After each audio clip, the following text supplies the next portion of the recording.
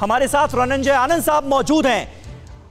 आनंद साहब अभी आपको क्या लग रहा है? अब ऐसा नज़र आ रहा है कहीं ना कहीं जंग की तस्वीरों को देखकर क्योंकि अभी तक हम देख रहे थे कि अजरबैजान का पलड़ा भारी नज़र आ रहा था। अजरबैजान लगातार अटैक कर रहा था आर्मेनिया पर। अब आर्मेनिया की तरफ़ से भी ज़बरदस्त जवाबी कार्रवाई की जा रही है। ताबड़तोड़ हमले किए जा रहे हैं और अजरबैजान को भी खासा नुकसान हो रहा है। आ, समीर जी देखिए इस चीज़ में एक चीज़ समझने वाली बात है। हम्म। इस लड़ाई में अग्रेसर कौन है और डिफेंडर कौन है? हम्म।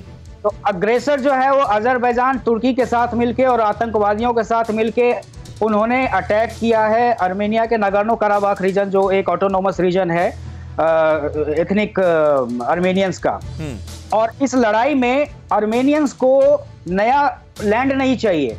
उनकी चाह ये है कि जहाँ पे लड़ाई है वहीं खत्म हो जाए। क्योंकि यही उनकी जीत होगी। हम्म। और अजरबैजान वालों की बात यह है कि हमें पूरा का पूरा नगरनो कराबाख ही कैप्चर करना है। हम्म। और इस इस जद्दोजहद में जब आप देख रहे हैं कि अर्मेनियंस जो लड़ रहे हैं वो अपने अस्तित्व की लड़ाई लड़ रहे हैं। वो हम्म। अपनी ज़मीन को रोक रहे हैं संभाल रहे हैं।